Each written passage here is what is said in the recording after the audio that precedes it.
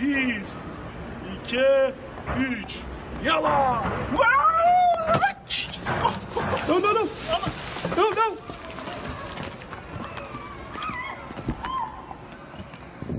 Serap bir daha. Ee, gerçekten de yüzümü buruşturdum e, izlerken çünkü görüntü çok yeni ulaştı elimize. Ben de ilk kez izliyorum sizlerle birlikte. O anı bir daha görelim. İki, üç. Yala! No, no, no. No, no. Gerçekten de çok talihsiz bir an.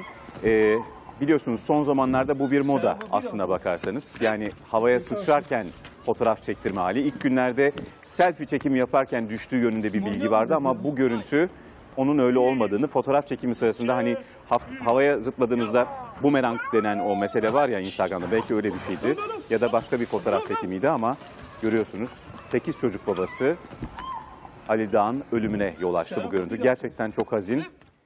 Aman dikkat demekten başka çaremiz yok. Çünkü hepimiz bunu yapıyoruz. Bir,